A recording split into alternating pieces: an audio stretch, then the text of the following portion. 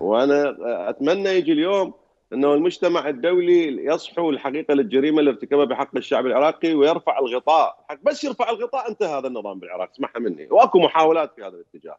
وأنا بوقتها دعيت الناشطين والمثقفين المفكرين العراقيين إلى التهيئة لتشكيل حكومة المنفى.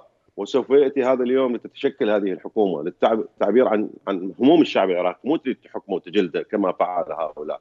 وما لها علاقة ما حصل في مؤتمر لندن مؤتمر العمالة اللي أنتج هؤلاء هذا غير مفهوم. حقيقة هذا يسعى لرفع الغطاء الشرعي عن هذا الوجود البائس. وأقول نعم بالقتل وبالتزوير وعندما تغطي ذلك بعثة الأمم المتحدة دون أن تدخل بالتفاصيل حقيقة ما يجري في الانتخابات منذ عام 2003 بعد أن ذهب ديميلو اللي قتل لأنه كان شخصية الحقيقة محترمة وكان يسعى لأن يحمي الشعب العراقي أنا أقصد ممثل الأمين العام نعم. عندما تم استهدافه بالتفجير المعروف